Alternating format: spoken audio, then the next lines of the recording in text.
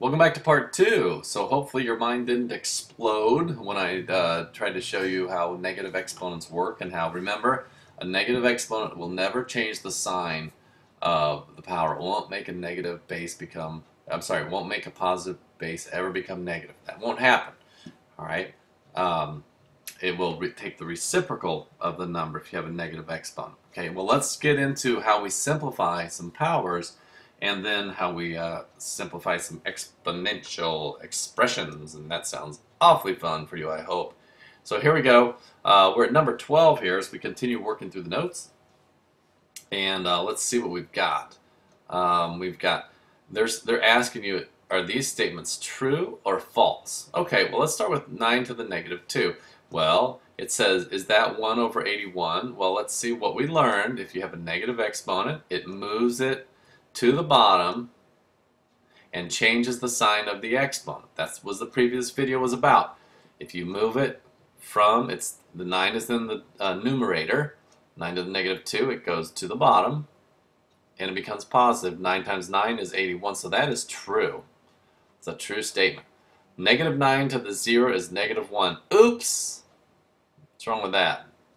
No, it's not. It's 1. If you don't believe me, put it in your calculator. Okay, that's false. Negative 9, make sure you put the parentheses in there. If you do that, put it in parentheses to the power of 0, you'll see that it's 1. Okay, so that one's false. Uh, the next one is uh, 9 over 9 to the negative 1. Now, I'm looking at this paper. This is really hard to read on my paper. I think it says negative. I'm going to assume that's a negative 1 ninth. So that is not the answer. It should be equal 1 over positive 9. So I'm going to say false, but I know it's hard to read on the paper because I think the paper says negative 1 ninth. So let's call it false. It should be positive 1 ninth. So if it says positive 1 ninth, that would be true. But you get the point, I hope. And then the uh, last one there, number 15, um, is 9 to the power of 3. Well, that's false because it should be 1 over 9 to the third, which is equal to 1 over 9 times 9 is 81, and times 9 is what, 729? Something like that. So that's false because they they evaluated the, that incorrectly. 9 to the third is not, it's not 9 times 3. And that mistake happens a lot when people multiply. They shouldn't. Okay? So simplifying powers, when you're asked to simplify powers, it basically means Okay, evaluate, if you understand what that means, evaluate, which basically means get it all the way down to a number. Okay, if you can turn the, it into a number without an exponent, do that when you're asked to simplify. Here's an example. Complete each step and simplify 4 to the power of negative 3. Alright, so the first thing you should do is move the power to the denominator and make the exponent positive. That's what you always do first. So they took 4 to the negative 3. It's 1 over 4 to the positive 3. And then you take uh, 4 to the power of 3, which is 4 times 4 times 4. All right, which is 16 times 4. And if you don't remember what that is, that's 24. And 4, that's 64. 1 over 64 is that evaluated there. okay, so let's move on down. Now, this gets a little bit crazy. It says, what is the simplified form of each expression? Okay, so when we talk about simplifying expressions, all right, here's what you have to do. When you have simpl simplified expressions, okay, the key here is that all variable exponents are positive. All right, highlight that. Whoops, positive. Highlight that or underline it, whatever you do to, to get the point.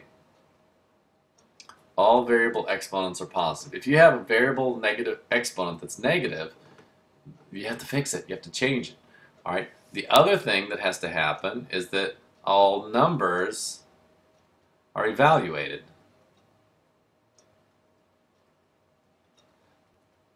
All right, in other words, that means, okay, like if you take up here where we had that 4, you can't leave 4, to, like in 16, you can't leave it 4 to the third.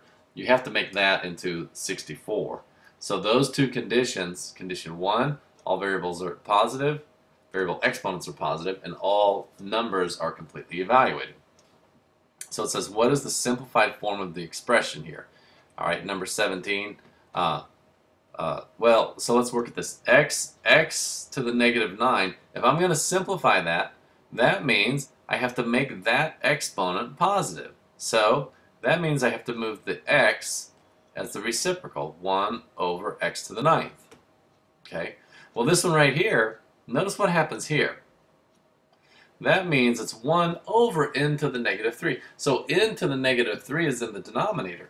So what do you think, if that's currently in the denominator, what do you think is going to happen to the n if I change that exponent to positive?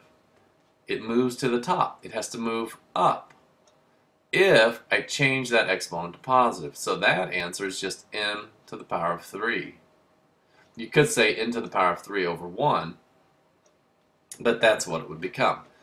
Now this one is a really interesting one. I'll change colors to red here.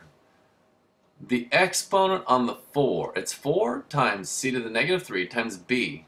The exponent on the 4 is a 1. The exponent on the c is a negative 3. The exponent on the b is a 1. So what you have to do is you have to move the exponent that is negative to either the top or the bottom, okay, and then leave, but you don't want to move the ones that have a positive exponent. Well, 4 to the 1, that's already evaluated as 4. But c to the negative 3, we have to change that to a positive exponent, right? So that moves that to the, we take the reciprocal of c to the negative 3, which moves it here, that's c to the third. Now when I moved it to the denominator, it made it positive.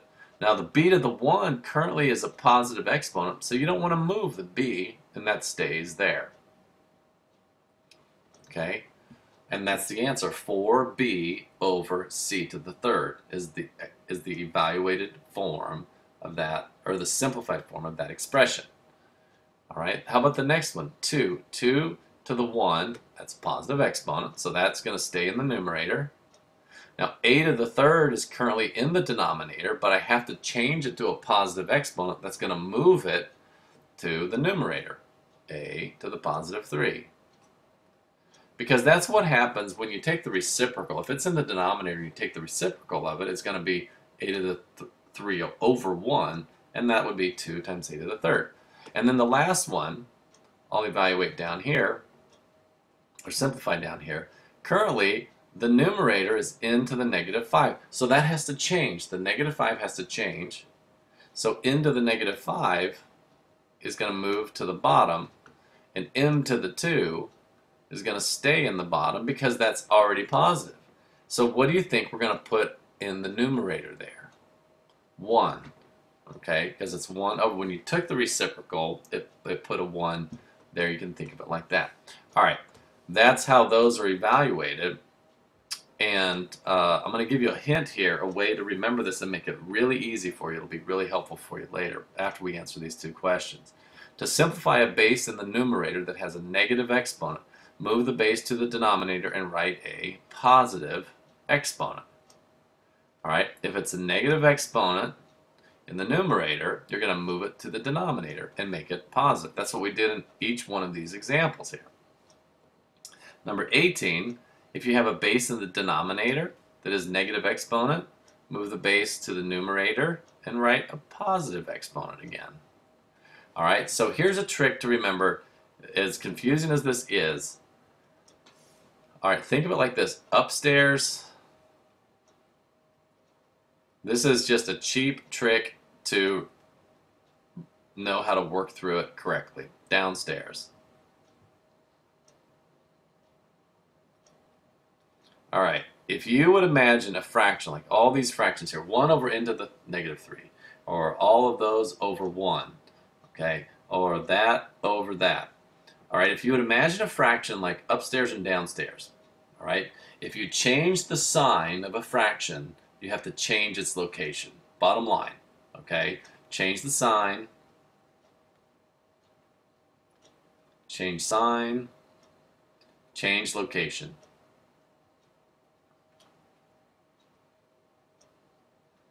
All right. If you don't, I said change the sign, which I really mean exponent. You have to change the exponent, and I can't write again. My writer is not a nice writer at home. If you change the exponent, you have to change its location. And that's what I did right here. x to the negative 9 over 1, it's upstairs. I want to make that positive, I move it downstairs. you got to replace it with a 1. This one right here, into the negative 3, basement, move it upstairs to make it positive. This one, 4, c to the negative 3, and b are all upstairs, but that negative 3 has to move downstairs and change its sign. Everything else stays. All right, hopefully that helps you. All right, I'm late again, but I got to do another video because there's a lot of stuff here. So I'll stop this one and be right back.